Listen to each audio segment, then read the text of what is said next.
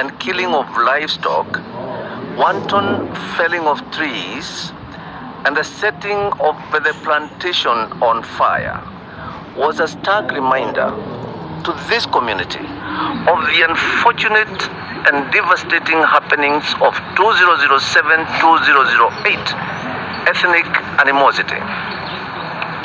The madness, the madness that brought Kenya on its knees. Dear ladies and gentlemen, welcome again to the analysis of Yoleno TV. I'm glad you're well from wherever you're watching this channel. Now, today was the third day of Raila Odinga's peaceful demonstrations. But today is again the same day that we saw the Kikuyu Council of Elders come publicly to denounce Ndindi Nyoro, Kimani Chungwa, Rigathi Gachagua, and I think another leader regarding what was done on Monday, the second day of Maandamano.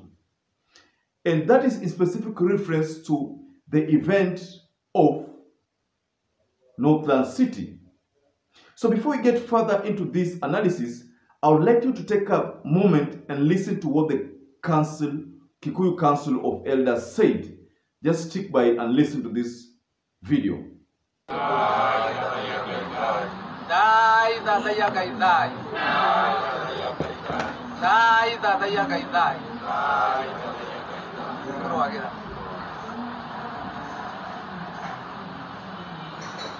and killing of livestock, wanton felling of trees, and the setting of the plantation on fire was a stark reminder to this community of the unfortunate and devastating happenings of 2007-2008 ethnic animosity.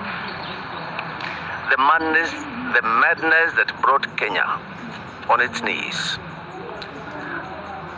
The attempt to take over and subdivide the land is a discouraging signal to any investor, both local and foreign, in this country. It sets a precedent in the history of Kenya and misguides our youth that it is right to take by force anything from anyone. It was a vivid way of bringing to fruition the Hustlers versus Dynasties campaign calls of last year. This council expresses its shame and the shame of the entire Kikuyu community that the individuals responsible for the above horror were Kikuyu leaders comprising Ichongwa, Kuria, Ndindi, and Gachagua, among others. Ichung'wah's direct threat to Uhuru to take over Kenyatta farms in Kiambu, Taveta, and Nakuru was a culmination of the animosity severally expressed by all four leaders against Uhuru Kenyatta. Their utterances and actions have made the Kikuyu community a laughing stock and the spite of other Kenyans. Apologizes to the Kenya nation that we brought such persons into national leadership. We advise our voters to be extremely selective next time and not to bring into, into leadership or into power these and other similar characters.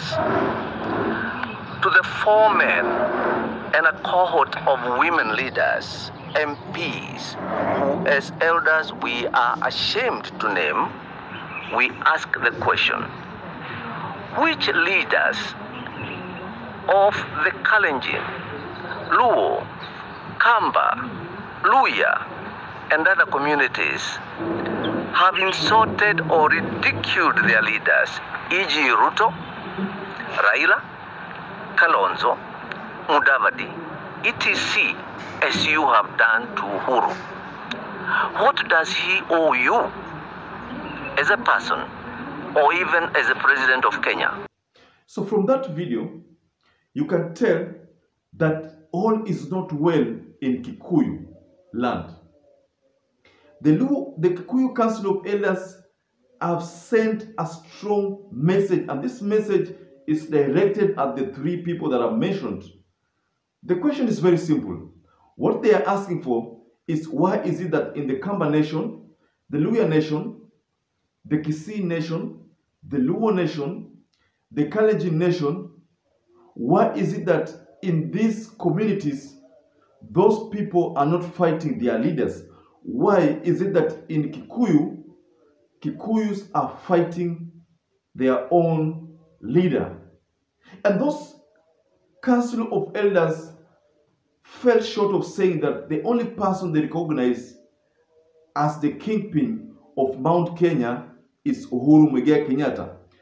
The mistake that Kimani Ichung'wah did on Monday, if at all that is true, will cost him dearly. And I think this is the reason why there is a lot of disquiet among a faction of the UDA a camp.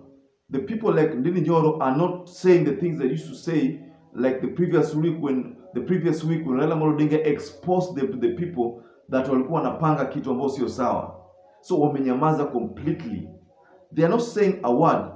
You see, the interview that was conducted, I think, two days ago or one day ago, Kimani Chungwa was heard to be literally defending himself on those accusations.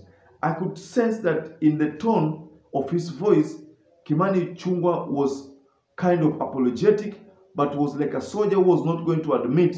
But the words were full, full of someone who was trying to explain to the people what could have transpired or what transpired. But those are the kind of things that happen to someone who is panicking. So Kimani Ichung'wah exposed his other side of panic.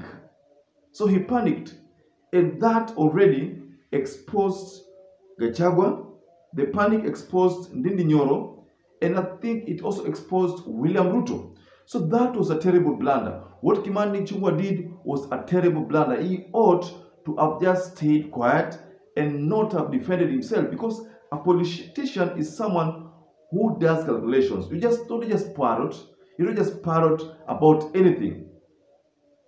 So Ndindi Nyoro alijikanga mwenyewe and the Kikuyu Council of Elders have distanced themselves from the utterances of, Ki- of Ndindi Nyoro. And in fact, if you listen to that video very well, and I'm going to play it again to you so that you can listen. If you listen to the video well, then you find that there is a part where the Kikuyu Council of Elders are telling people to forgive them for the thought that these were the people who would take them to somewhere. They said that angalia, Ruto amekuachia tu siku nne tatu na tayari umeshafanya mess. Je, ukipewa miaka mitano utafanya nini? So that was a message that is directed at Rigathi Gachagua and telling the people that telling Rigathi Gachagua that we might not have to vote for your government in 2027 because you've already indicated or shown us a bad side of you. Ladies and gentlemen, that statement was directed at Rigathi Gachagua and that statement must have hit Rigathi Gachagua and that's why there is a video I shared in my previous analysis where Rigathi Gachagua anaongea na hasira na hasira nyingi. So this was akin to someone who is being faced or dogged by things that he ought he did not expect. Rigathi Gachagua did not expect that this would backfire on them. But the truth of the matter is that this thing has backfired on them. And now everybody is literally trying to say that they are the people who are responsible for what happened to uh, former President Uhuru Muigai Kenyatta. So, ladies and gentlemen, do you think the Kikuyu Council of Elders have made a point by the, the, sentiments they made in that press conference? Can you share what your opinions are regarding those in the comment section? And once again, I'd like to urge any visitor who has not subscribed to this channel to please consider subscribing to Yoleno TV. And also don't forget to give us a like and then you can hit the notification bell so that every time we upload any video, you will always become the first person to get notified. Now, ladies and gentlemen, kindly stay safe, stay blessed until you catch up again in our next analysis.